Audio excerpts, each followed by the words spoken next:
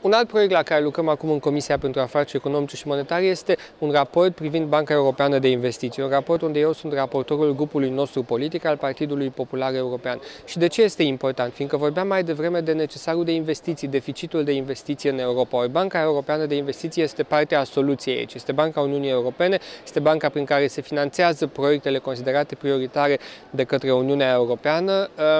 Este banca care a investit 70 de miliarde de euro în Uniunea Europeană Europeană uh, anul trecut, din care 500 de milioane de euro în, uh, doar în România, 3,6 miliarde de euro investiți în România în, în ultimii 5 ani. Deci este o bancă care uh, ajută economia țării noastre să devină mai competitivă, mai, mai puternică și prin acest raport și amendamentele făcute de mine, contribuțiile mele la acest raport, merg în următoarea direcție.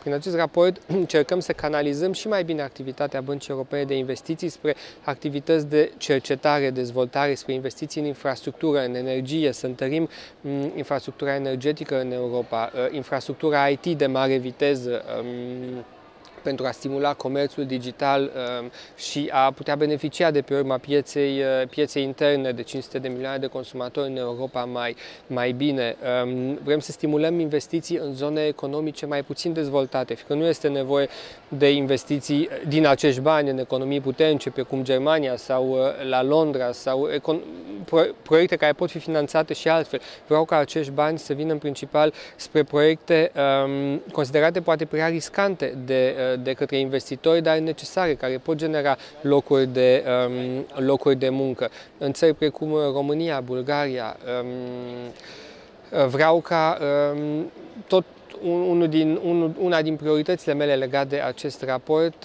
este angajamentul băncii, sporirea angajamentului acestei bănci în statele din vecinătatea estică a Uniunii Europene și în special în Republica Moldova. Aceste țări pe care vrem să le aducem mai aproape de Europa și ele au decis să meargă pe o cale europeană. Ucraina, Georgia, dar în principal Republica Moldova vreau să primească mai mulți bani um, sub forma unor credite pentru a construi străzi, a moderniza uh, străzi, autostrăzi, a-și îmbunătăți infrastructura energetică.